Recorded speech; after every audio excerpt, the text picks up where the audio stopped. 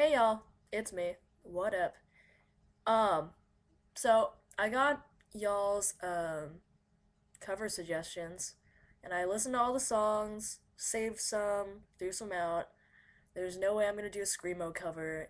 I mean, if I if I did it acoustically, I think it would just lose all power. But I mean, it's still a possibility. But I like the suggestions that y'all gave me. I've uh, haven't had time to learn them, but I'll get to it.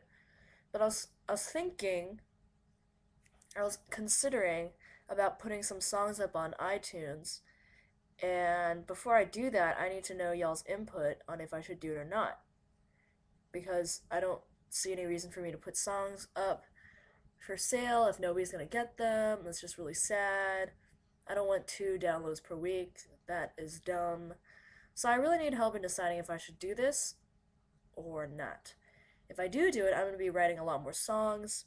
Um, maybe like putting up little snippets slash previews on here for y'all to experience for you hear like a better quality one. I'm gonna I'm looking into buying like a USB microphone instead of just recording on camera or whatever. Cause come on, camera the camera doesn't pick up sound quality like I need it to, like I want it to. So yeah, just give me your input. Um, let me know if you would actually get my songs or not, or if you would rather I put up some more videos first, or if you would unequivocally get songs like instantly right now, bam, um, so I can gauge what I need to do.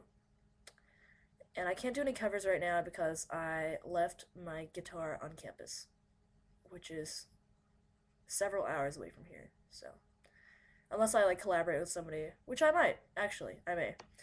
Anyway, let me know what you think. And um, yeah, goodbye.